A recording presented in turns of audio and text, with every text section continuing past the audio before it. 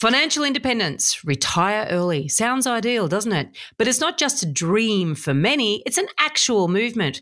What does it take to be able to achieve a comfortable early retirement? Every single person I've ever met reaches financial independence, usually quits their, you know, their rat race sort of job and retires from that and then goes into a field that they're passionate about and every single one of them somehow makes money. Welcome to The Elephant in the Room. This is the podcast where we love to talk about the big things in property that never usually get talked about. I'm Veronica Morgan, real estate agent, buyer's agent, co host of Foxtel's Location, Location, Location Australia, and author of Auction Ready. And I'm Chris Bates, mortgage broker. Before we get started, I need to let you know that nothing we say on here can be taken as personal advice. We always recommend you engage the services of a professional. Don't forget that you can access the transcript for this episode on the website as well as down download our free full or forecaster report, Which Experts Can You Trust to Get It Right? the theelephantintheroom.com.au.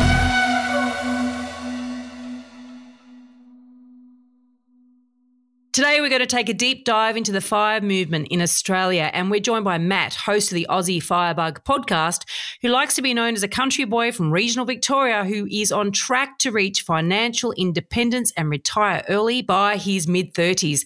And of course, FIRE is the acronym for financial independence and retire early. Thanks for joining us today, Matt. We're really interested in learning more about the growth of this movement in Australia. Pleasure to be here, Veronica. Thanks for having me. Thanks, Matt. I mean, I guess a good place to start is, you know, what's really driving this sort of fire movement? You know, how big is it? You know, when's it really sort of kicked off? I mean, what are those some of the bigger questions around the fire movement? I can only speak for myself about why I got interested in the fire movement, but let's, I guess, go back a bit to the, the history of it. Some would say it's been around since the 90s. There was a book that was released by Vicki Robbins called Your Money or Your Life. Mm-hmm. And a lot of people say that that was the the start of the, the fire movement, but I would actually argue that it really started, or the modern day fire movement started when a guy called Pete he wrote a blog called Mr. Money Mustache back in I think he started in like 2011 or 2012, maybe a little bit even a little bit earlier. But long story short, he retired when he was 30 and he amassed so much wealth that he could reach financial independence by the time he was 30 and move on to other things. And his blog became really, really popular in America. And I actually stumbled across it in 2013 and it completely changed my life. And I was at the point I started full time work at the end of 2011. And I, I, actually didn't mind the, the job that I was doing, but I was sort of blown away by how many hours a week it was taking up of my life. And not only just the work time, but the commute, getting ready for work, you know, decompressing after work, doing all those things. I just, I was like, is this really going to be my life for, for the next 40 years? Mm. And I started to, you know, read a few actually property investing books and I wasn't into the share market back then, but I just refused to accept that that was sort of the the life that was that I was going to live for for the next couple of decades. And yeah, just sort of completely changed the course of, of my life when I come across uh, Mr. Money Mustache and what Pete was writing about. And then I started the first fire blog, I believe, back in 2015 in Australia. And since then, there's been a whole bunch of other blogs and podcasts pop up mm. all around the country. And it's hard to know how big it is, but I would say I think there's a subreddit of over 100,000 people that are interested in the movement. So yeah. Um, if that gives you any indication, it's pretty big, I think. It's so interesting because, particularly in the property space, you hear these quotes all the time. Oh, retired at 30 or retired at 28, amassed 15 properties, all this sort of, you know, pipe dream stuff. And I always think to myself, Okay, so why are you still working to sell this supposed system if you really have retired? And so I know in the property space, there's a lot of charlatans around touting that they've retired, but they haven't really. What makes the fire movement different? I would say uh, different is in if Do someone really is, retire? ah, okay, okay, yeah. Uh, well, uh, that's a that's a good question because even the word retire means a different thing to different people, depending on who you ask. And I know that there's this is probably the the biggest thing that trips up most people about the fire movement is definitely the retire early part. And I've written a fair bit about it. And it's not actually about not working. That's the thing I, I think uh, some people, when they listen or read about the movement, they think, you know, how could you not work for, you know, the next 40 years? You retire at 30. Like, what are you going to do? Are you going to sit by the beach and sip pina coladas all day?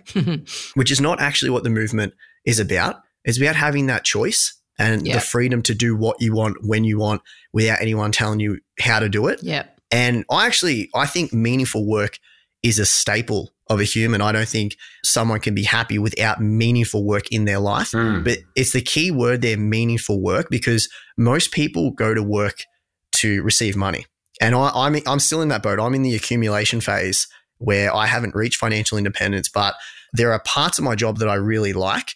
But if we're being honest, I, would, I don't know the statistics behind this, but what would you say? 90% of people go to, go to their place of employment to receive a paycheck. There's other benefits associated with that work, but most people are there to get money. Let's be honest. When you reach financial independence, the thing that changes is you can still work, but you're working on your own terms. And there's a world of difference between the two going to work for money and going to work because you want to. And you want to stimulate that, whether it be the creator itch that you have or working with people or, you know, being social, or whatever it is that you get out of work. That's really the, the sort of the end goal for me anyway, is to reach a point where I can do whatever I want whenever I want, but that includes meaningful work. So the you the other term you used was freedom, and that's really it in a nutshell, isn't it? You you have choice, but what are the steps to get there? Yeah, that, that is true. The, the choice is, is a huge component of it. The steps are relatively easy. Like if we if we break it down to its the core concepts, it's literally spend less than you earn, invest the surplus of money, and then wait long enough. And depending on how much your savings, obviously going to dictate how long it takes you to get to financial freedom. But usually there's a you know a few years, a few decades even, and you'll eventually reach financial independence. I It's love about- it. Yeah, It's it's like- that, it's that, like that's to the stay- simplest term. It's like how to be thin and fit. Exactly right. There is no se- there is no magical formula. That's the other thing that people Mm. sometimes read about this movement, and I get these emails all the time. It's like, you know, I'm 32 at the moment. You're like, wow, you know, you're, you're 32, your partner's 29, you got this portfolio. Like, what was your secret? And I always say, like, there there is no secret. It's just uh, the, the hardest bit is saving consistently and investing consistently and sticking to the plan. And if Mm. you compound that over years and decades, it's incredible what sort of wealth that you can build. But it's really simple. And back to your point about, you know, losing weight or staying fit, it's really, really simple. I, I, I like to think that most people know the foods they should be eating, what they should be doing, exercising and everything. Like it's really simple, but it's just executing it is usually the hard part. And people go looking for that magic pill or that, ma- that magic fruit or vegetable or whatever it's going to do to, you know, miraculously Mm. transform their body. But it just, we know deep down that it doesn't work like that. And you've got to put in the work. So you mentioned, um, I mean, ninety percent of people don't sort of enjoy their job, and I think Gallup's, uh, you know, has research out there that sort of says that around ninety percent are disengaged and don't get fulfillment from Mm. work, and are just rocking up to sort of get the paycheck. And Yeah. So I think that aligns to what you're saying. But I mean, one of the challenges is, you know, could you just reframe work? Could you, you know, extra study? Could you go into a different industry? You know, one of the challenges of that other model is, well, I'm not going to make that choice until I've got sort of financial independence. So do you see that that's a, a bit of a challenge, or people are stuck just on that rat race, earning the money, doing a job they don't like till they get to the end of this fire movement? Yeah, that's that's a, uh, another very good question. So, a, a common, you know, some people will say, "Do what you love, and you'll never work another day in your life," Hmm. which is true. But I just think it's it's sort of a pipe dream for most people. Like if I'm being um, Hmm, honest, like yep. it's not realistic for the majority of the population for everyone to love their job. Like, like come on, let's let's be real here. Yeah, yeah, yeah. yeah. Um, now, in saying that, I definitely agree with you that when you're first starting out, sometimes it can feel it's almost uh, uh, detrimental to your mental health a little bit. Uh, discovering fire super early, like I remember when I was, I think I, I stumbled across it, uh, the the concept of financial independence from Rich Dad Poor Dad, the famous book from Robert yeah. Kiyosaki. Saki. Yep, Saki. That's it. Uh, and that that completely blew my mind because that was when I'd never seen it written so simply. The equation to financial freedom. I didn't even know what financial freedom was until I read that book, and it was simply, you know, assets generate money, and it doesn't matter what assets. It can be, you know, precious metals, property, shares, whatever it is. Just gather enough assets and they'll eventually throw off enough income and you'll never have to work another day in your life. And I was like, whoa, like my brain exploded. and then what Pete at Mr. Money Mustache was writing about was financial independence on steroids because a lot of traditional finance books and it, whether it be property and shares, whatever, is sort of geared towards reaching that financial independence later on, like when you're Yeah. maybe 55, 60, 65. But what Pete and the fire movement is about is is supercharging that and reaching it early on in the piece in your 50s, 40s, 30s, and sometimes if all the stars are aligned, you can actually do it in your uh, 20s, but it's very, very rare. Do you think frugality plays a lot part of this though? Oh, in terms of the 100%. minimalist movement. I mean, and you know, if someone does want to live a pretty not extravagant, but at least travel and go stay, you know, experience, you know, expensive experiences. How does how does that align with a fire movement, or do you have to sort of give up on those type of motivations and focus on spending less for the rest of your life? So uh, this is like a, a common misconception as well. And I just want to say that the fire movement is more of a philosophy on how to live your life than it is a it, than it is a financial movement. Like everyone thinks that everyone in the fire movement movement are investing geniuses and you know we've got all the answers and that secret pill to be able to retire so so young but what it's actually about is is like you touched on there chris it's more about stripping things down and finding out what makes you happy and then putting the time and energy into those things. And if you actually think about and you jot down everything in your life that makes you happy, well, everyone's going to be different. But for me, a lot of the things that really make me happy don't cost a whole lot of money. And a lot of things that cost a lot of money is actually the marketing machine at work and like what society tells you how to live your life or how to have a good life. It's sort of the the chronological chronological order of, you know, do well at school, study hard, get a good job, meet someone, buy a house, get married, have kids. Like that's sort of the fairy tale story that we're told when we're young and we got to follow that path. But life doesn't really work like that. It's And- funny. You call that a fairy tale story. It sounds horrific. yeah. It's, it's, it's just like, You said to me, you know, traveling five star around the around the, the earth and amazing experiences and dining incredible restaurants and all the rest of it. That to me sounds exciting, you know, and that's going to cost a bloody bomb. well, it, it can, it, it can, but you can also do a lot of those things a lot cheaper. Uh, it, you know, if you if you plan ahead, but uh, to, I, I just want to touch on that point again, Chris, about the whole Mm. fru- frugality thing. So, yes, the majority of people in the fire movement, if you look at their annual expenses, most normal people will probably be like, "How the hell can you only spend that much money Yeah. a year. Like there, there's no getting around it. And all I can say with that is I think I live a fantastic life. And if you are following the fire movement and you feel like you're depriving yourself of a lot of life's luxuries and happiness Yeah. and joy, then you're doing the movement wrong. Like really, you should be living the the the best life that you can live, but also be conscious with what you're spending on and really put your time and energy into things that truly make you happy because what you'll find is that those things don't usually cost an arm and a leg. So it's not a miser movement; it's a mindful movement. I don't know what Well, a miser movement is. What- What's a miser movement? misers are mean. You know, they're tight with their money. So the idea, you know, that, that and even the word frugality, in some regards, conjures up this idea of being really tight and miserable about it. But you're, Ah, what you're yeah. saying is actually, well, it's Mm. it's it's sort of better for the planet anyway, as well. There's lots, hundred lots of yeah, lots of knock on a good knock on effect. You're you're basically saying it's a mindful. It's being very conscious Yes. about what we derive pleasure from rather than being sucked into the marketing vortex, as you mentioned, and probably why we couldn't find you on social. Uh, yeah, I try to stay. I, I watched that um that documentary on Netflix. Um, Mm, shocking, isn't it? yeah, I, I just, like literally deleted my Instagram account straight after, and Wow. the, and I had uh, the only reason I was still on Facebook for a brief period is because I had my Aussie Firebug account still on Facebook. But yeah, it's just you know, uh, I, and to be fair, me and my partner have traveled around the world for the last two years. We got back in Australia in January uh, Mm. at the start of this year, so like it's not like we aren't living a good life. It's not like pe- sometimes people think to be to be able to achieve that savings rate or to, to be able to save that much money and to amass that portfolio at su- such a young age, you either mm. have to be given a, a, massive inheritance, win the lottery, have an incredible salary, or have to live in a cave and eat nothing but rice and beans. And that simply isn't true. Like, I actually think we live uh, an incredible life.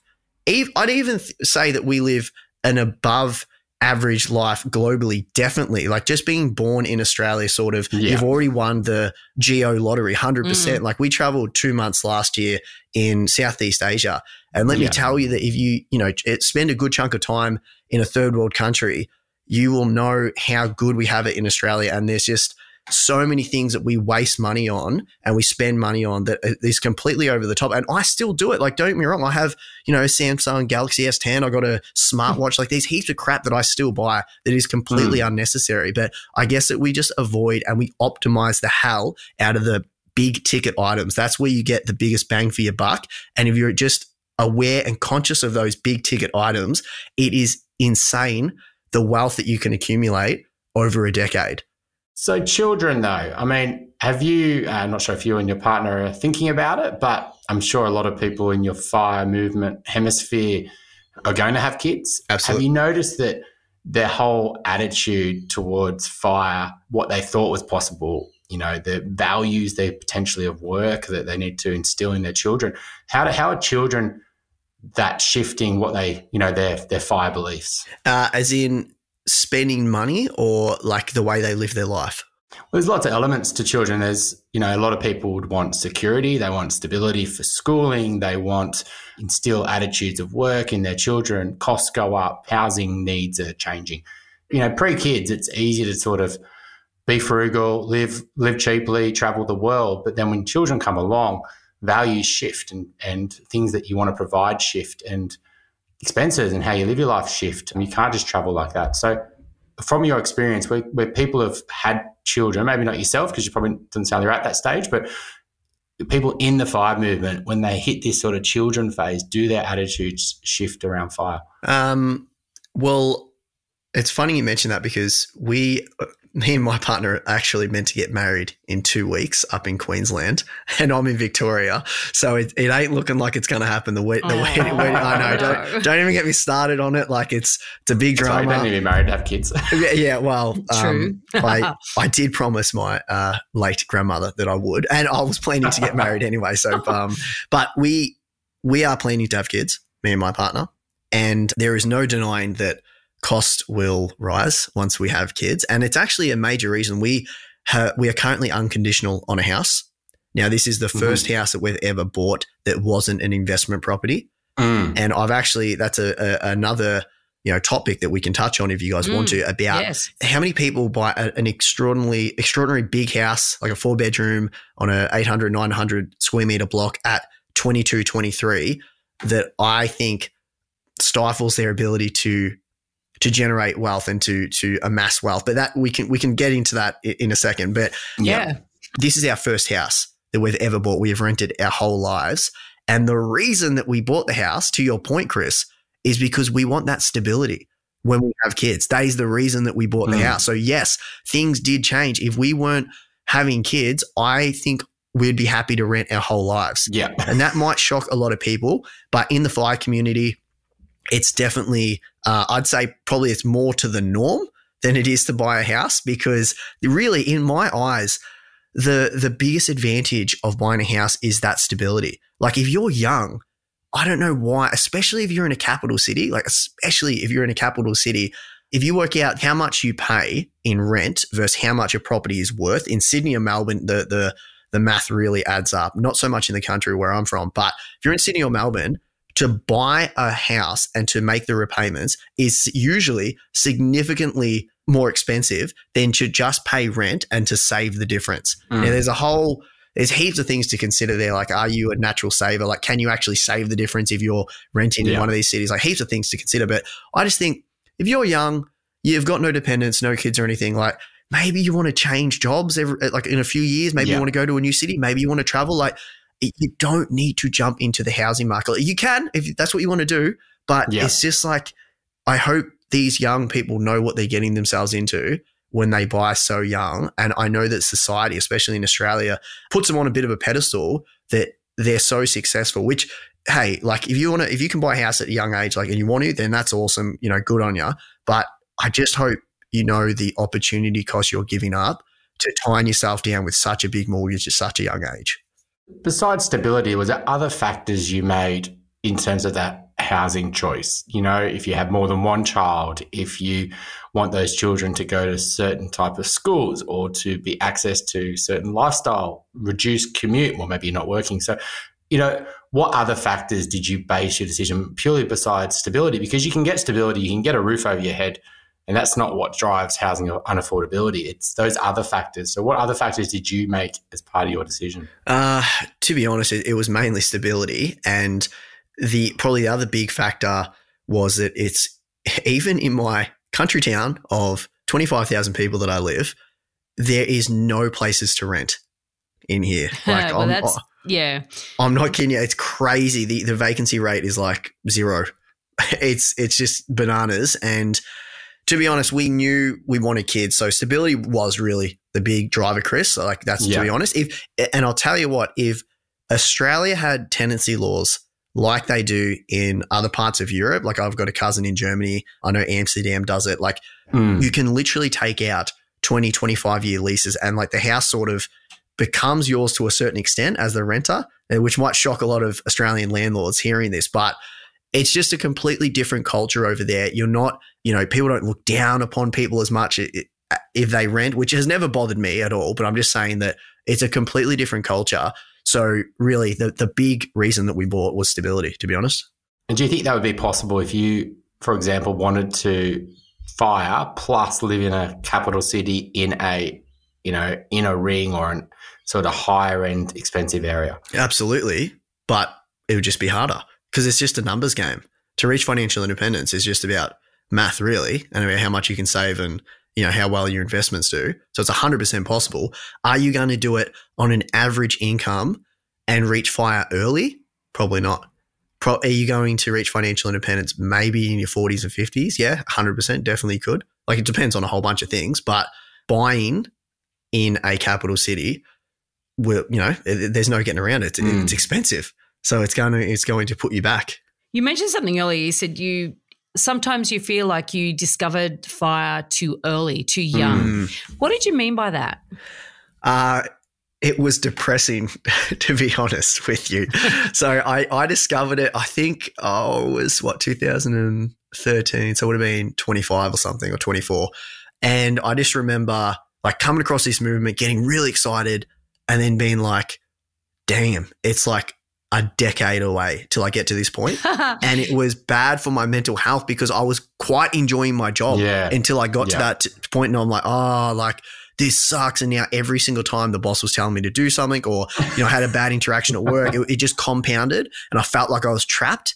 And it, it, was, it was a bad way to think. I, like, I don't know how you get around that though, but it's, it's almost like I wish I come across it sort of middle towards the end because then I wouldn't have felt like there was another way and I just would have been maybe contempt and happy with, you know, working for another couple of decades. What's so weird about that is that I hear that and I think, well, if you didn't come across it, you wouldn't have actually applied the practices. You're right. You're right. It's and a double edged sword. Yeah. I mean, I would be more depressed if I discovered it at 35 or 45 than 25. Do you know what I mean? Like, because 100%. You got the, the runway and that's what you need because this is all just about the magic of compounding, isn't it? 100%. The compounding is and I and we are towards the end of the journey now, and like you know, let me tell anyone out there that's listening that if you're at the start of the fire journey or even just any wealth creation journey, it's so hard to understand compounding. Like you can understand it, you chuck it in a calculator, you, you get the mathematics fine, but until you get to, I'd say probably the sweet spots for us was like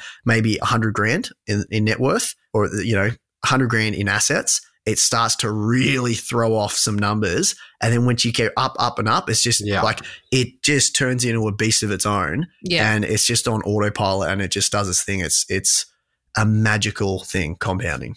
It is a wonderful one. It's a what's a eighth wonder of the world or something. Yeah, yeah. No, that's the period. But, um, I mean, what are some of the risks you see with the? I mean, I've been a financial advisor for a long time, and lots of forecasting, and you know, a lot of it comes down to the costs you want to spend on an annual basis. And that can change, you know, health or, you know, just affordability, inflation on different things go up at different rates, you know, housing, for example.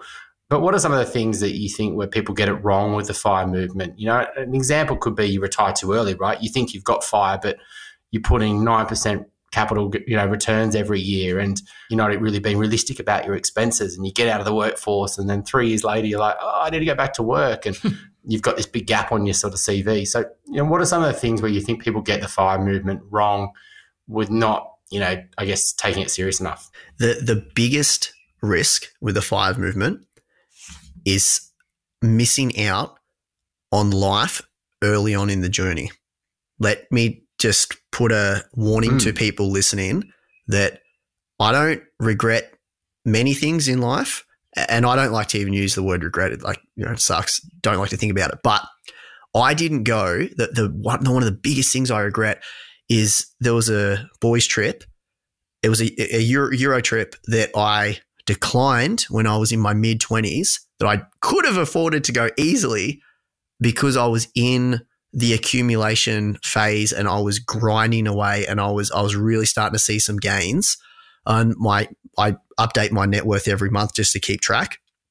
And I was like, that is going to put a spanner in the works. I set these hard goals and I really wanted to achieve them. Mm. And now I look back and it's like, what the difference that trip would have made is minuscule in the the grand scheme. And like I really just want to echo this point that you can't get your 20s back. So just be aware of that. I'm not saying go like go YOLO and you know start buying the latest iPhone and like you know buy Versace shoes, whatever. But I'm just saying that those trips and those experiences, you like you can never do Europe in your 20s ever again. Even if you go back and you do South Croatia in your 50s, it won't be the same trip. It so, can be better, trust me. But what is so interesting about that is that if you don't make those sacrifices, then you're not actually going to be able to achieve it. You know what I ah, mean? Like, it, so. It, it, it sacrifices, though, in the right areas. So I would always say that travel and personal growth and investing in yourself is mm. super important. And that's something else that, like, a, a major part of it. Don't be stingy when it comes to yourself and your own development because the biggest gains and the biggest the way that you can leapfrog your way to financial independence in my opinion is and this took me years to to figure out really because I was sort of happy in my little job and just like grinding away and saving a good chunk of money and it wasn't until I moved to London in 2019 and I went into the contracting space and London was an area where my skills were in higher demand than they are in the country. Like I was on a pretty good wicket compa- like comparatively to my country peers. But mm. when, I, mm. when I moved to London, I more than doubled my salary. And I just want everyone out there listening to know that I was on a very high salary towards the end of my journey. And I'm aware that me, me and my partner earn slightly above the medium Australian, Australian national income. And I don't want that to sort of take away from the fact that you can definitely reach financial independence at a young age on a normal income or an average income. Because a lot of people think you need a, you know a super high salary. You absolutely don't. But the truth is that when I went to London, I was on a relatively large salary. But that lesson taught me that if you go to places where your skills are in demand or you upskill yourself and you can maybe jump uh, uh jobs to, to get a bigger income, mm. it can really really supercharge your way and wipe years off the journey to, towards financial independence.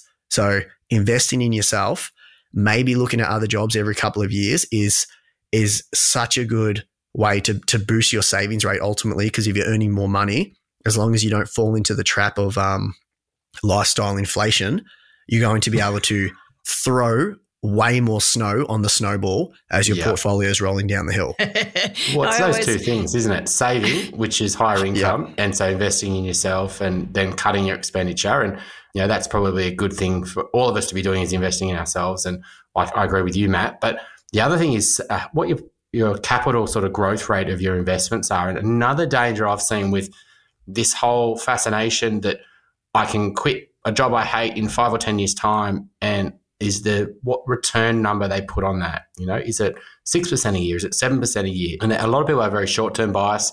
especially people who started the fire movement, you know, last year would probably be thinking that Yeah. they're going to retire in three years' time. this is easy. but it also encourages speculative type of investing. And so this is whether it goes into property or whether it goes into shares or, you know, maybe Bitcoin. But where do you see that people get it wrong there, where they, they think that they can not only save more, but they can also retire early because they're going to get this magical investment return over the next five or 10 years? So the the magical number that majority, like ninety percent of the fire community go off, is the four percent rule.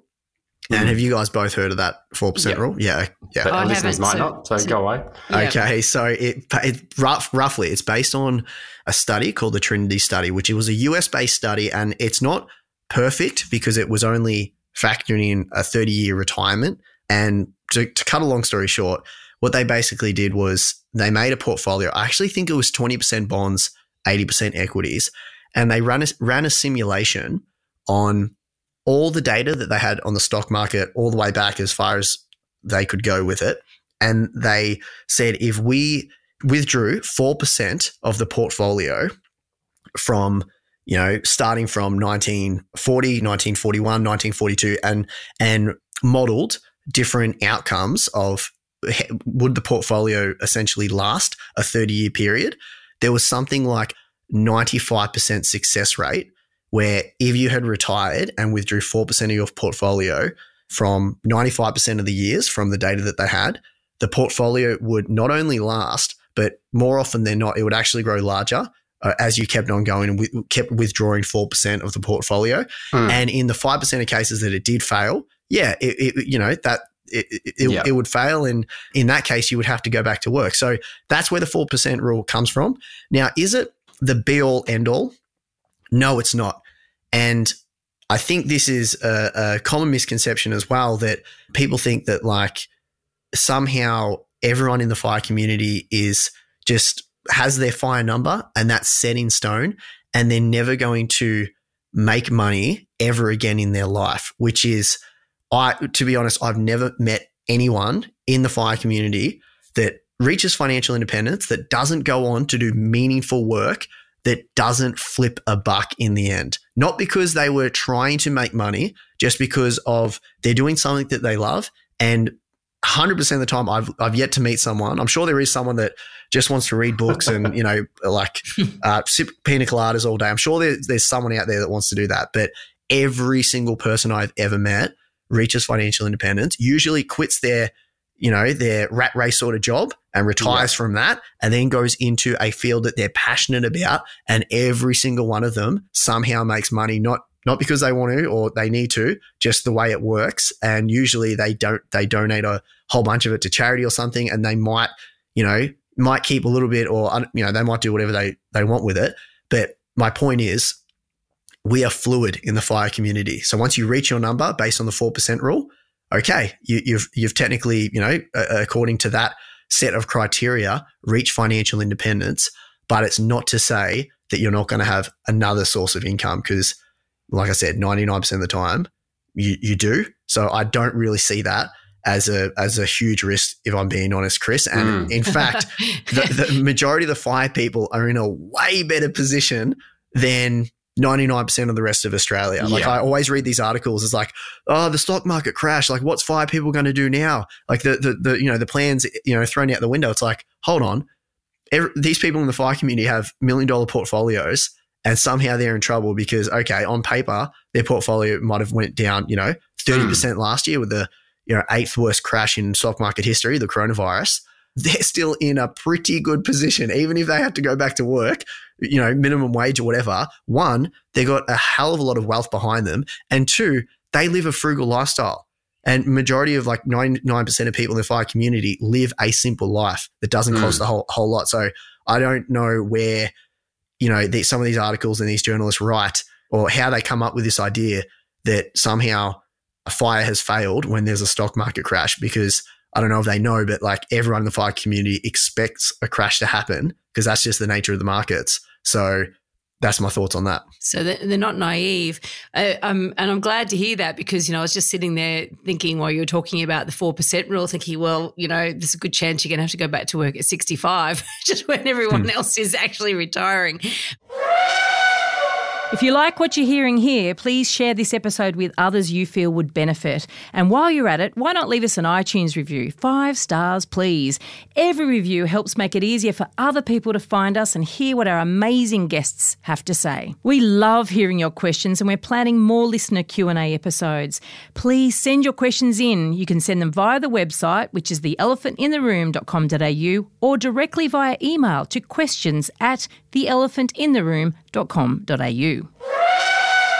I'm curious to know because what we haven't talked about is tax, and and certainly when, it, when in regards to home ownership, and that means the home you live in as opposed to mm. owning property as investments. There's a massive tax benefit in that, but of course that's a long term benefit too because that's not realised until you actually sell. And obviously, if you're going to sell down four percent of your portfolio, you know every year you're going to be paying tax on on those gains, etc., etc. So where does tax planning come into this, and also also actually, because in this country, uh, aligned with this sort of tax idea, we've got such a, a, a, wonderful opportunity to have tax effective savings in superannuation. So how does how does the fire mm. community approach those issues or aspects? Yeah, great question. So I'll just I just want to say as well that four percent rule it factors in inflation and tax into into that, and it, this is circumstantial, so everyone's different, but I'm going to use us as an example, me and my partner. We track our expenses religiously. And I actually only do it like maybe once a week now, whereas back in the day I was a bit crazy. I used to do it like every single day, um, just because I was obsessed. And yeah, it was I was way too full on back. More back. time on your hands. Yeah, oh, I, I, work for the government. I work for the government, so yes, uh-huh. there was a uh-huh. lot of free time. It was um, it was a bit of a joke actually, but I know to the dollar amount that we spend roughly fifty thousand dollars a year to maintain to for us to maintain our lifestyle costs fifty thousand dollars, and that's a pretty good life if I'm being honest. Like, you know, there there could be you know, we could add other things. There's going to be expenses coming up, especially with kids. So that number isn't set in stone. It's fluid. We are going to adjust as expenses rise in the future. Uh, but 50,000 is what we need. Mm. Now, we have our assets in a trust. And if we go off the 4% rule, let's say we need $1.25 million in assets to generate 4% of, uh, or w- a few dividends and maybe selling some stocks could generate that 4% per year to give us the $50,000 mm. that we would need to maintain our lifestyle, assuming that we have absolutely no income from any other avenues, which will most likely not be the case. If we split that between me and my partner, that is almost like the amount of tax that we are paying on that, $25,000 each, is very, very little.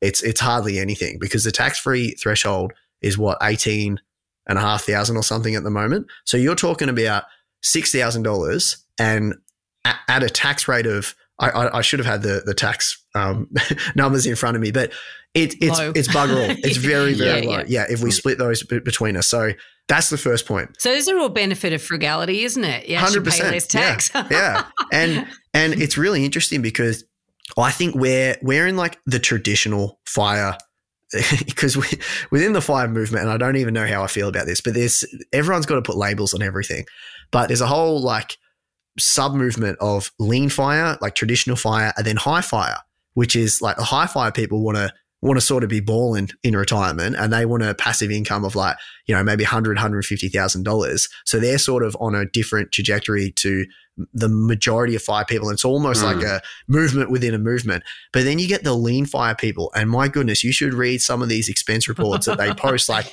and these are the people uh, that the journalists you know, mm-hmm. post yeah. the story, and then everyone thinks that everyone in fire is like that when it's really not like that. we actually had a survey at the start of the, the year with 1,300 people in the community, you know, filled out the survey, and the bulk of people are roughly within about 45 to like $70,000 a year, which I think's pretty like that. That's a typical, if you're optimizing all your expenses, I feel like that's pretty typical for a normal Australian family to, to spend that. Like I could see that being realistic. Mm. But you get these lean fire people that they spend so little that they actually pay more tax. And this is incredible to think about. They would pay more tax from salary sacrificing into super than they would building a portfolio outside super and receiving their eh, dividends or you know rental income because of the 15% tax that you pay when it go, when it goes into super whereas they actually are under the tax 3 f- threshold so it actually makes more tax sense for them to invest outside super than it does inside. Have, having Yeah. said that, having said Yeah. that, that is rare to have happen. And majority of people, vast majority, will have the biggest tax benefits in super, no shadow of a doubt. No shadow of a doubt. If you're, especially if you're nearing the preservation age, I would like if that was me, I'd be dumping everything into super. The only reason that we don't build up our portfolio in super, the only reason is we don't want to use the drawdown method and have to rely on super or basically have to wait till our preservation age to get that money. So I would rather to freedom, doesn't it? Exactly. I would rather Yeah. pay a bit extra in tax and reach financial freedom outside of super than I would than like storing it inside. Even I know I've done the math on it, how much we would save in tax by salary sacrificing and uh, letting it compound in a tax, uh, Yeah. low tax environment. Like that's amazing. I, it, it's rare, like, and it goes back to circumstances, but if you're super early on in fire, you maybe want to look at it like building your, your snowball outside of super. But for the vast majority of Australians, super is going to be your best bet. It's the best vehicle that you can have. I mean, yeah. I mean, there's a. I guess there's a two elements to it though. But if ultimately your number that you're trying to achieve is to last you maybe to your ninety or hundred, It'll be you know, forever. maybe forever. that number could be a lot lower. And so, you know, you could say, well, my super balance is that once that's at 300,000, that's going to compound, you know, 200,000 or 100,000, that's going to compound for the next 30, 40 years. So I don't have to worry about that 65 year amount. So I can potentially retire a lot earlier. So you can just people in the fire community look at it like that and say, well, I want an outside of super amount and an inside of super amount to, to hit that button. 100%. I actually have a calculator on my website that does exactly that. That calculates how much you need outside Mm. of super to then bring you to your preservation age. And then it, it, it works out how much you need inside. So, so it builds up, that snowball rolls down the hill in the low tax environment. So when you get to your preservation age, boom, it's your financial independence number. And then it works out how much you need outside. Now, when I did my, our situation in that, I can't remember exactly what it was, but it was something like because we were doing it so young, and this is where it throws it off, and it's so circumstantial. So you need to really plan for your own circumstances. Is we, I can't remember exactly, so I'm just going to do rough figures here, but let's say our financial independence number is 1.25, because that's what it is. I know that for the time being. Because we were so young, we were going to need an incredible amount outside super to then last us to our preservation age. Yeah. So it was something like maybe I'm going to say 700,000 we would need outside super. And I thought at that point I'm like if I get if I've got 700,000 outside super, do I really want to start drawing that down? I think I'd rather just save an extra 500,000 and pay more tax and just get to financial freedom without relying on super. That's how Mhm. I just looked at it. And I know it's not the most efficient and quickest way to get there, but I just chose I don't want to do the drawdown method. I just want to reach it outside super and I'm willing to pay a bit more tax. So I mean, the, the other Veronica point was around the tax on home ownership, where there's no tax, and arguably leverage and leveraging income or leveraging any type of investing is where you'll get compounding better returns if you over the longer term. And property is one of those assets you can leverage six times, you know, seven times your income, and your money you can leverage potentially ten times, and then potentially into asset that can grow tax free for you. And if if you look at sort of a way of sort of growing wealth, especially if you do it well, how do the people in the fire movement? Because a lot of people, if they're home, they'll say, "I just want security. I just want a place to live." But ultimately, arguably, if you do it well, it's probably one of the better investments you can do as well. And how do people handle that? That is that's a good question that I don't really think has been brought up that much in the community, the forum boards and the, the Facebook pages. If I'm just thinking about that myself though, I don't know would I buy the best home that I or, or the home that we would want to suit our lifestyle, like future aspirations, all that, all that good stuff? Or would I buy a home because I think it would go up in value? Or like because like it's slightly an investment. Like I know what you're saying, but I, I feel like I feel like it's two different things. Because if I'm buying an investment property, which we you know we've had three investment properties before, we're down to one at the moment, but it's hundred percent a numbers game. Like I don't care what it looks like, where it is, it, all that's like it is relevant, but it it's all tied back to how much money can this thing make? Like it's about making money in that investment property. Mm. But a house to me is completely different. There's an emotional attachment to that. And I just feel like if I was trying to buy a house and buy an investment property or buy it for an investment at the same time, I might not get best of both worlds. I don't know. Does, This, does, this does is that make really sense? interesting, actually, because I suspect listening to you talk about the difference between an investment property and your home, I suspect that you're less worried about the home growing in value because you aim to retire early, which means you won't have debt. And therefore, if you don't have debt, you're not as worried about the home going up or down in value because if it goes down in value and you have debt, you've got this sort of benchmark of what do you owe the bank versus what the house is worth. And so, so that sort of becomes a different sort of th- thinking process. I guess uh, one question in my mind is that if you have a frugal approach to life and you are, and also, I mean, I was reading up a bit on the fire movement before we had this podcast and this interview. And one of the things I read about was, you know, like the ideal is to invest in low risk, high yield. And I'm like, there's no such thing because risk is a function of yield. And I know in property that if you invest in cheap property, typically they're not very good assets. And people, if they're measuring their investment return on the yield alone and not on the capital growth, then they're actually missing the point. And and I guess that's all of this is sort of wrapped up in my head. I'm thinking these are all danger zones for for the fire movement in my mind, and maybe I've got it wrong. Because the fact is that if you invest wisely in your own home, it should and can grow in value because it's emotional to you. It will be emotional to other people. And the actual main driver of capital growth in property is actually owner occupier demand. It's actually not all the investors, all the numbers, all that sort of palaver. Because the hmm. reality is that properties are emotional. Those that are get the more emotional response from buyers are the ones that get where the price gets pushed up. So it actually it and that's sort of the fundamental this podcast is actually understanding the the psychology and the emotions behind our decisions around property. So it's sort of interesting to come at it saying, well, you know, that doesn't matter with my own home, but it actually does, and it does for lots of reasons, and it actually can be way more powerful than than making investment decisions based on numbers alone. Mm. Yeah, I hear, I, hear, I hear what you're saying. Another way to explain it would be let's say you believe in the fire movement, you don't believe in house as an asset because I'm living in it, and financial houses shouldn't be a financial instrument. But the reality is, we live in Australia where our number one asset is residential property, which is, say, four times the share market. And so, absolutely, it is a financial asset and it's everyone's biggest asset. And so, even if you don't believe that the house isn't an asset, the reality is that's what the world is. And so, you can either play in the system or you can sit on the sidelines of the system and say, oh, you know what, I don't believe in that. I'm just going to buy something to live in. But what you're also doing is you're missing out on that opportunity. And the way that the tax system is structured is around home ownership and encouraging people to take on home debt. That's what low rates are also doing as well, and government grants, etc. And so, even if you want to live this, you know, fire movement, one of the best investments you can potentially do is treat your home as an investment, you know, and think about it from an investment mindset. And chances are it's also going to be a great lifestyle asset anyway, because that's what the best properties are. That's what they provide is lifestyle. And so, you know, I think there's a big opportunity where people potentially look at this fire movement and they say, well, I want to, you know, I've got a hundred thousand and I want to grow it so I can retire. I don't, that means I completely disregard property or I'll buy shares that are unleveraged and I'll try to get this compounding thing over 10 years and I'll pay capital gains tax on it.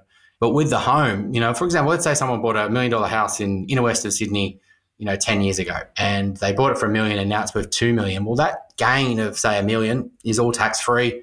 Maybe they put in a hundred thousand and so they've got, you know, 10 times their money tax free versus that person who said, I'm going to rent, I'm going to save the difference, and I'm going to slowly build an investment portfolio over 10 years. Like the, the difference in where they will be is, is massive. And so I think they, one of the challenges of the fire movement is, is that I think around home ownership, I think they are potentially missing the system benefit.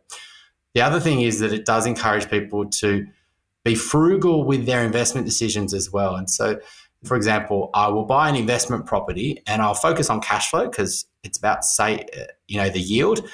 but I'll completely disregard the capital growth, which is what properties basically priced on. And so the number of properties matters more. I've got three properties and it's the yield they provide rather than the, the actual growth. Do you see that a lot of people in the fire movement focus on a number of properties, properties that are say worth, you know, under say three, 400,000, a lot of regional property, high yield, sort of positive cash flow. Is that sort of what a lot of people in the fire movement are attracted towards? I'm not 100% sure in terms of the property type that that most in the fire community would would lean towards. But what I can say is it's true that in the fire community, most people are trying to replace their incomes. So they are going after assets that can generate an income. Now, the issue that I have, not an issue, but just the point I'd like to make if you have the million dollar house in Sydney and it goes up to $2 million, are you withdrawing the equity to further invest, or are you just basically becoming rich on paper? Because if the house goes up, unless you're renting out a room or something like that, it's actually not providing an income if it's your primary place of residency. You can always sell though, right? So if if your number in the fire movement is a number, then that person could sell at two million, pay off their eight hundred thousand dollar mortgage. Now they've got one point two million dollars in the bank. They could move to a lower cost area outside Sydney, buy, buy a house at 250,000 and they've got a million dollars in the bank that's going to provide them $40,000 a year income. Mm.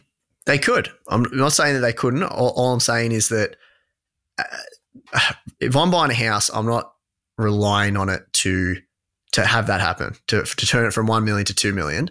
And I know that it has happened in the last few decades. Will it happen in the future decades? I'm, I don't know. Will houses go up? 100% they will, just because of the nature of the markets. Giving a long enough period, it 100% will. I prefer not to play the capital gains game where essentially you're relying on someone to buy the asset at a higher price than you paid for it, all the while you're losing real money in the bank account and your only payout is at the very end when you sell to someone at a higher price. I know, I know it can work. I know this is a strategy that a lot of people do, but I just would rather build up steady and slowly and have the consistent income being thrown off from the portfolio mm. and reinvest that income and do it that way. They're just two different games. And it's just about the your risk have you profile. Ever, have you gone and, back and looked at potentially what, you know, when you had enough for a first deposit, let's say you had 15%, I don't know, let's say you had 100 grand and a decade ago, well, I think you started this in 2013, I think you said, and what your difference in terms of, you know, potentially you would be today. Um, what, I mean, if I invested in Sydney real estate? Well, it depends on what you could have got access to with your incomes, etc. But it, it is it is something in the fire community that a district because they've got that belief around sort of financialization of property, etc property is not an asset. I'm going to live in. Oh, pro- property is definitely an asset, hundred percent. I I've made more money through property than I'll probably ever make through the share market. Don't get me wrong. My first property had an annualized return of something like thirty five percent, which I'll never get in the share market unless I'm the next coming of Warren Buffett. So I'm not saying I and I'm almost sounding anti property here, but I'm hundred percent not. It's I, I I love property as an asset class. It's just I'm at the time of my life where I for for me to get the returns in property and like the way that I was a property investor because I'm not really anymore. I had to put sweat equity into the property and I had to do a few things to bump up the value where I wasn't and I didn't like my original strategy, my very first strategy was to amass 10 properties. That's what the road that we were going down. And I hit three properties and then APRA changed the lending regulations in Australia and I maxed out on my loaning capacity. I had like nearly like $800,000 in debt at one point and I went for my fourth house and then I got knocked back and that's when I started learning about the share market. And the reason that I was attracted to the share market was one because it's 100% passive. I don't need to lift a finger. I get four payments of dividends each year. They get transferred into my account like magic. And I'm like, wow, that's incredible. I don't have to deal with any tenants. I don't have to deal with any of that stuff, but I'm not. poo pooing property at all because it's an incredible yeah. wealth building tool. They're just completely different tools. And I'd say that most people are more suited to be passive investors. Like I'd say probably like 70% of people are not built to be property investors because in my mind, there are certain things that you need to do and you need to treat it like a business almost. You need to treat property investing like a business. And if you don't, you can still make money, but you're less likely to make money. And there's headaches and time, energy that you got to put into it to make it work. That's why I went down, like we started in property when I had a whole bunch Yeah. of time in my 20s. And then we've, and we're slowly going to a 100% passive portfolio. It's a good point. I think that people underestimate how active property investment needs to be, particularly at, at 100%. times. Yeah. And and but so you, it sounds like you manufactured wealth. It sounds like you actually made Yes, improvements. that was my properties. strategy. Yeah, Yeah. yeah. Okay. Uh, at sweat equity, I was laying concrete, Yes, I was yeah. landscaping, and I just was like, I, I, and that's what I said. I, I made 35% or 33% annualized returns, but that's not factoring in how much my time is worth per hour. You know what I mean? That's just how much I got out of the, the deal. Like it was, I think I bought for like 340 and I sold for like 515 or 520 in the outer skirts of Melbourne. So I made a really good profit. I was so happy with it. And like, I'll never Mm. get that sort of bump in the share market just Over what because period of time? uh, f- I bought two uh, built in 2012. When was it? No, 2013, and I sold in 2018. Yeah.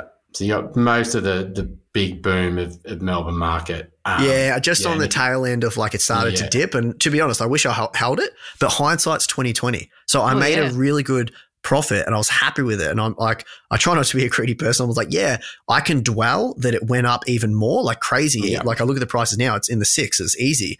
But I'm happy with the profit I made. And anyone can look back in history and be like, damn, I should have bought Bitcoin in 2013. You know, you know what I mean? So it's like Oh, you can yeah. play this game forever. Power of hindsight. Yeah. Never, never a mistake is made. Hmm. So that's one of the things that I, you know, I, I think the fire movement's missing, and I think they around the home and understanding property and what drives the market, and, Mm. uh, the system, and behind. Even if you don't want to be a part of that, you want to avoid, you know, be different to the system, and which I definitely align to a lot of that as well. The they are missing a trick around playing the property market, you know, especially around their home. I think the other thing is that you you were kind of going down the dangerous path that I think a lot of the people in the fire movement do as well, where they think the number of properties you mentioned there, you wanted 10. What uh, unfortunately they do is they'll go for higher yield and they'll go for quantity. And a lot of property spruikers play in this space. And they encourage people to go into because it's a number. I've got to buy more at three hundred thousand, and I'll get it, and I'll get another one, another one. And what they do is they end up getting not the greatest investment returns. Those maintenance issues you spoke about, tenant risk, growth is in the affordability market, supply risk. And so what they should have just done is gone by one really top quality investment property for a million, let's say, but they go and try to buy this number of properties. And I, I, think you'll find that a lot of people in the fire movement are, are thinking like that. They're thinking, I've got to get as many properties as I can. It's the number I sort of have rather than the quality. Have you sort of heard that around the traps? Actually, I haven't. And I'd probably say that like 80% of the fire movement go down the passive index share portfolio style of investing. There is not many property investors in the Aussie Fire Discussion Facebook group. I think we're up to like 12,000 members. And Chris, if you're not in there, I'd definitely encourage you to, to join and, and start this conversation because it is a good one. I'm like, I'm definitely hearing what you guys are saying for sure. It's just that for whatever reason, the passive index style approach of investing speaks and appeals to the majority of people trying to pursue fire. Mm. And I have seen stories written in that group from property investors that obliterate a passive index style investing return.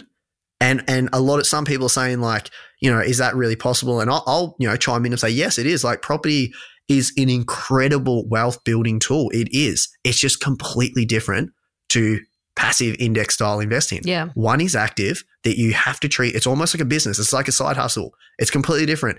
And the other is 100% passive. You're not doing anything to improve it. So there are so many pros and cons with each style. Hmm. You know, if you're a go getter, you've got certain skill sets, you can add value to a deal, a transaction, a, uh, the property itself. You're a builder, a sparky, whatever. Property could be incredible. It could be amazing for you and with all the tax benefits that you guys speak about.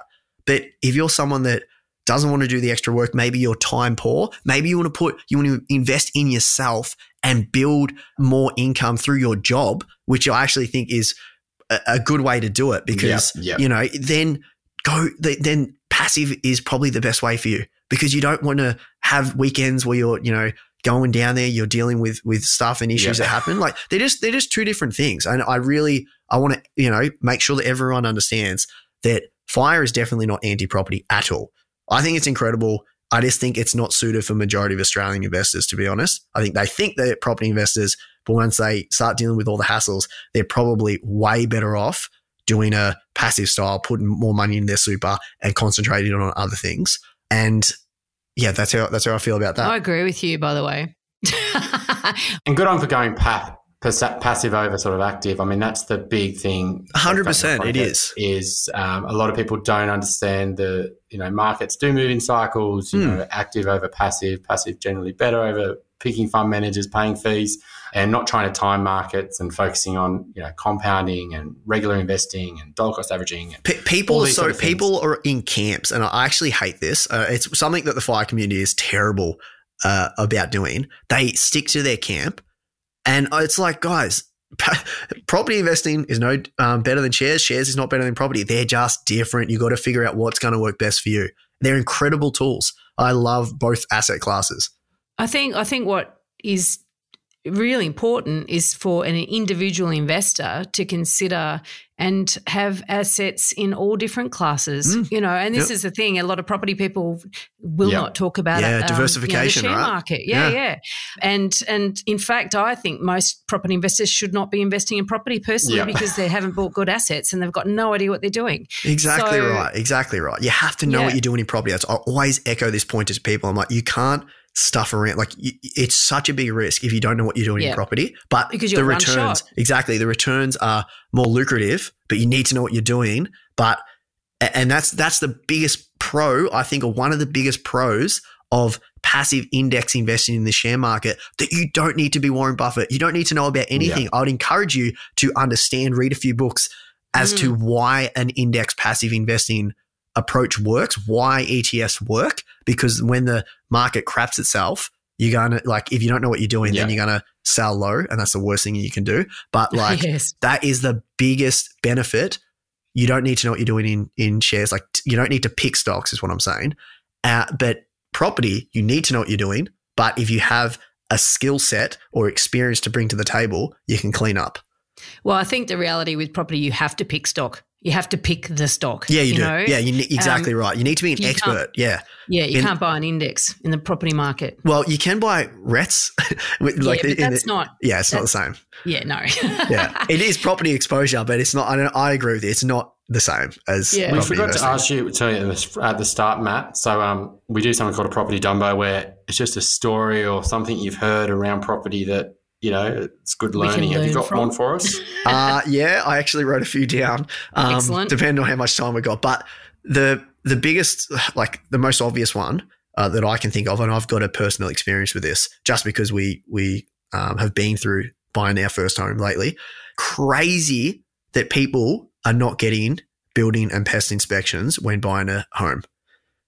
Like yep. the so market in your situation. So in our situation the, first of all, the market in where I live is just bananas, which I think is happening all over the country. It's just boggles my mind how property properties are worth so much at the moment. Like we are in London last year, and this sounds terrible, but when COVID hit, I was secretly like, yes, I know we're going to buy next year and property's going to be rock bottom. There's going to, you know, I was like, this is going to be great. Holy crap, did the complete opposite happen? Like, who could have ever predicted this was going to happen? It's just Very insane. mm. So, basically what you got to do in my hometown at the moment is you've just got to go over asking price and hope that you secure the property within like the first week just because there were so many people from Melbourne coming down and uh, everything was getting snapped up. Mm-hmm. So we did the build, we um, put an offer on, uh, it got accepted, did a building inspection, and there was a massive structural issue that was a potential issue, but they couldn't tell me it was 100% going to happen. It, it, basically could have been nothing or could have been everything in the next 10 years. And when you're spending half a million dollars on a house, I wasn't prepared to take that risk.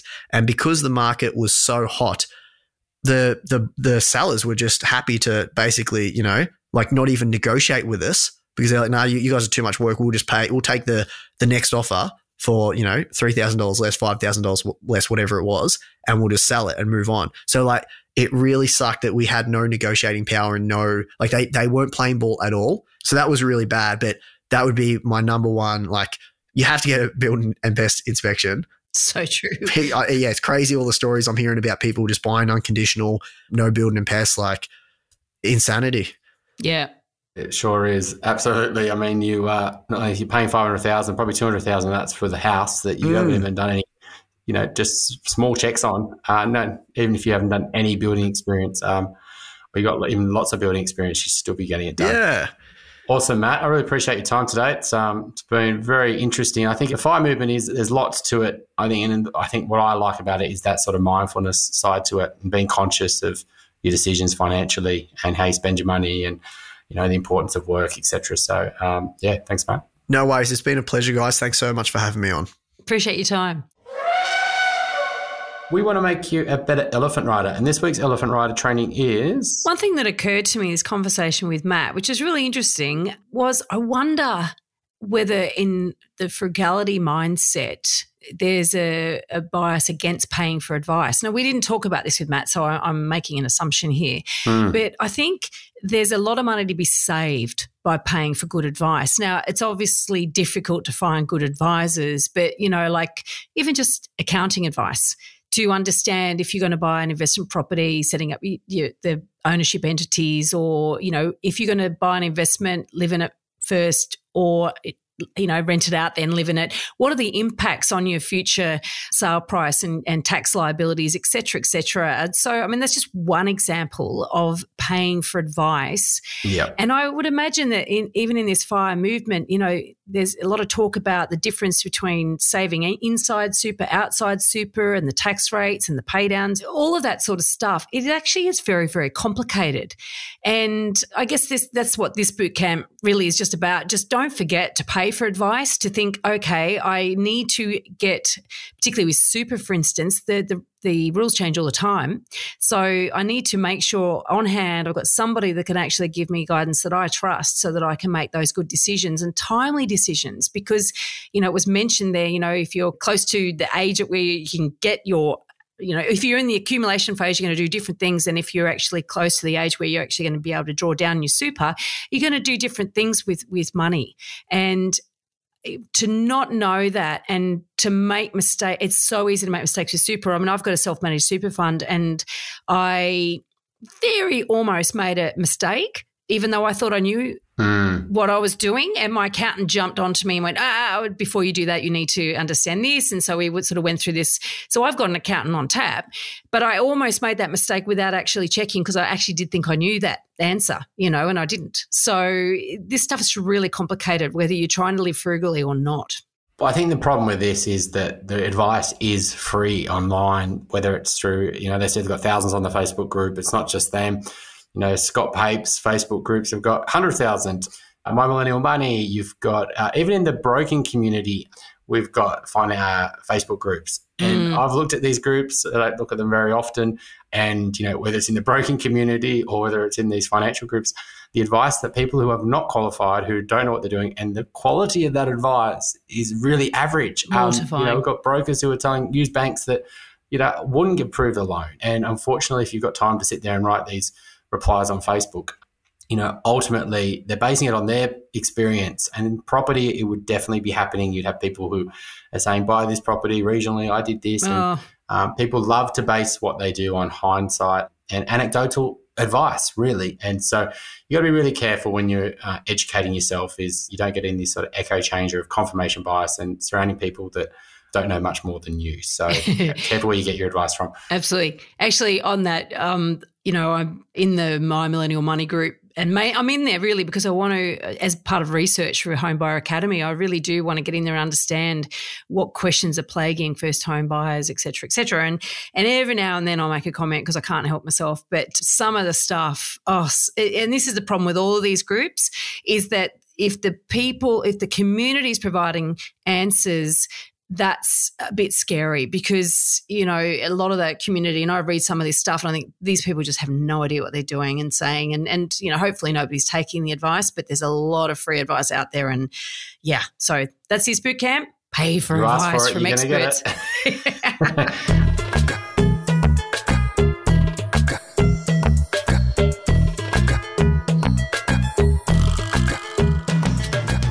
episode, we are going to uncover the secret to capital growth. Can data tell us what we need to look for in order to maximize the return on our investments and minimize risk. Is it possible? Well, to find out, you're going to have to tune in. We're interviewing Jeremy Shepherd, he's the head of research at Select Residential Property, and he claims to have cracked the code of capital growth. So please join us. If you're looking to buy your dream home or an investment property in Sydney's inner west, eastern suburbs, or North Shore, my team and I can help you buy without regrets. Reach out via my website, gooddeeds.com.au. If you're looking to buy your first home, thinking of upgrading into a new one, or purchasing an investment property anywhere in Australia, my team love to carefully guide you on this journey. And most importantly, get the finance right. Reach out via our website, wealthful.com.au. Thanks for joining us. We'd love to see you again. And remember, don't be a dumbo.